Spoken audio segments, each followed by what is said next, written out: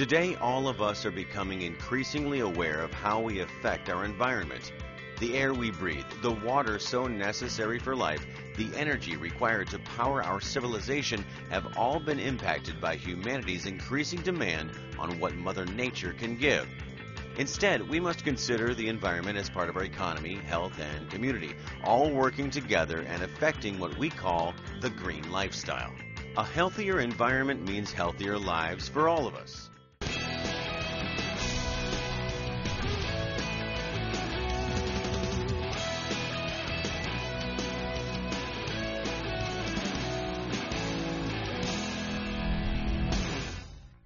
When we think of an energy efficient home, the first thing we may think of are the utilities we need to heat and cool that home.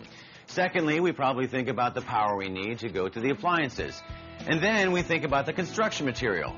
Well, today Think Green visits a new home using a brand new construction material that helps us live a more energy efficient lifestyle. With so much importance society now places on living efficient and environmentally friendly lives, how we build our homes is changing. As construction practices of the past are replaced with newer, greener ones, so are the materials used. Research has led to the development of new construction materials that are superior in many ways to those of a previous generation. One of these materials has recently gone through a radical change for the better. Think Green visited the factory to take a look. And this football is made of that material. Go deep! Can you guess what it is? This countertop and wall section brings a stylish and unique design element to a home's interior. What makes them different other than the uniqueness of the design element? They, just like the football, are made of concrete.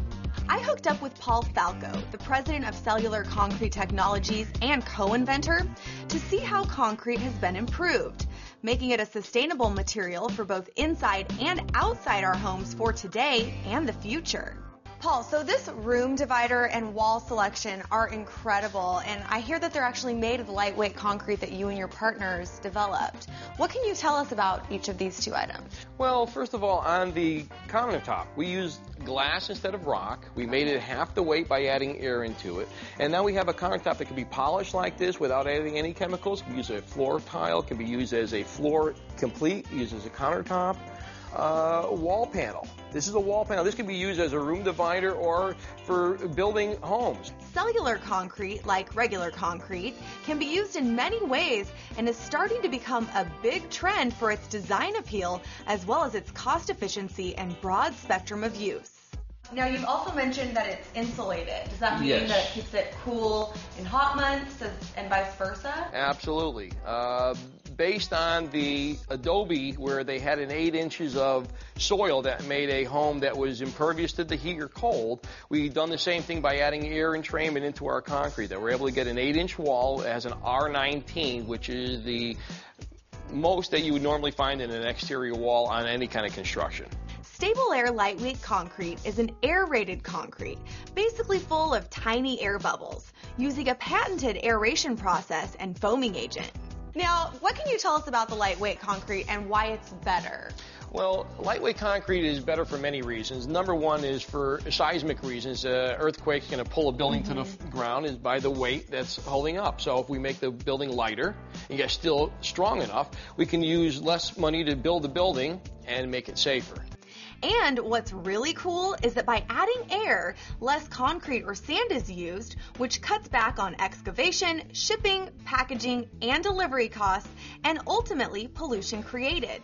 The material we use to make this is uh, biodegradable and is non-toxic. Here is a standard conventional block. Okay. It has about one third of the material as our lightweight blocks are. It has no insulation quality, and this does. And you could try it and pick it up and see what you. Oh wow! See. Okay, let's see. So this is the traditional this block here. Heavyweight concrete. Okay, it's heavy. Let's see. That that is heavy. You're not lying. That's definitely heavy. And so you're telling me this one is going to be significantly lighter. Significantly lighter and three times more material you're picking up. It's much bigger. I'm kind of nervous, but I believe you. Let's see. Okay. Oh wow. Okay. Much lighter. So we thought we'd put the blocks to the test. The conventional concrete block weighs in at 35.5 pounds. The insulated concrete block weighs only 22.1 pounds. This material is 17 years in the making, and new uses and methods are still developed every day. And it sounds like there are so many different applications. And I'm wondering if this lightweight concrete can be used in the same way that traditional concrete is used, for example, in a slab when you're building a home. Absolutely. Uh, what we do is we put less air in the slab. We want the slab and the footing, the base of the home to be heavy because we, it's in the ground, it's our foundation. But we put air in there so that we're able to stop a freeze-thaw problem, which is why concrete cracks most times. In cold weather, water absorbs into it and it freezes and expands and it cracks. By having the air voids in there, we're able to eliminate that from happening. Okay, so we put the cement and the water in here. Now we're going to add the foam. All right. All right, so what's going to happen with this foam? Is it actually going to mix in? It's going to mix in entirely with this. Now, I know it looks like it can't possibly happen, but this will all be cement here in about another minute. It's kind of like watching paint dry. All right, I think we're ready now. Okay. And this is the material that we use to make those blocks in the wall panel.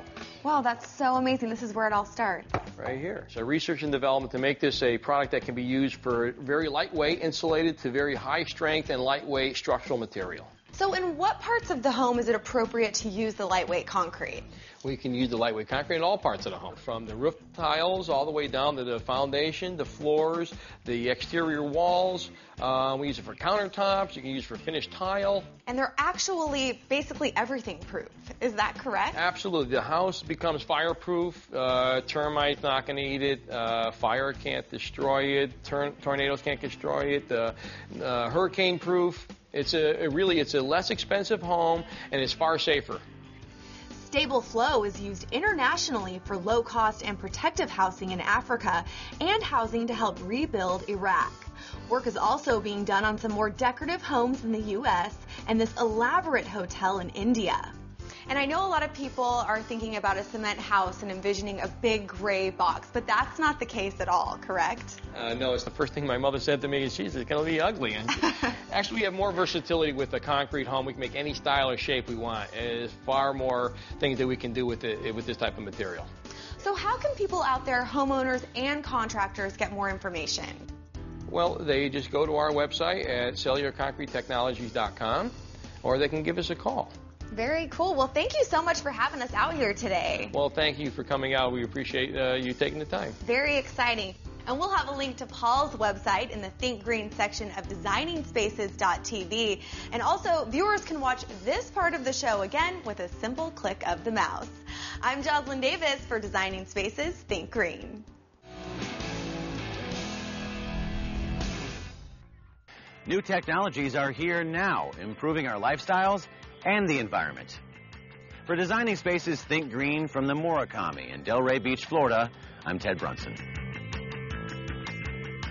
You can visit these websites to learn more about the participants on this edition of Designing Spaces.